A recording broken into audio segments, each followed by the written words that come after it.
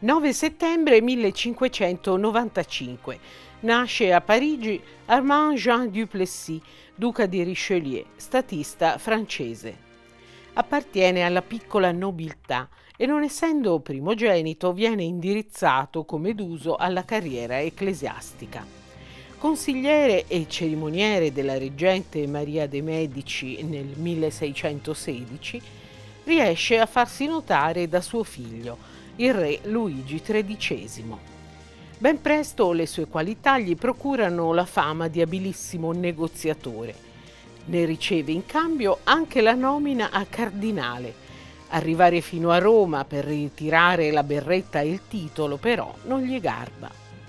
Primo ministro dal 1624, conserverà grande influenza sulle decisioni del re e degli stati generali di Francia.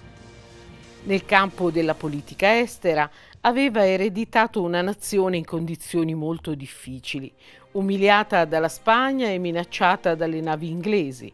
Un ventennio dopo il regno si espande sui Pirenei ed Oltralpe, affacciandosi anche sul Reno.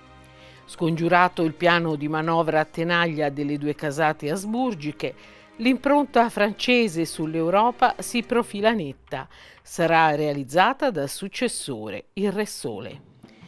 Richelieu, anche grazie a sapienti e subdole manovre, impone sempre più i suoi piani e la dinastia borbonica trionfa.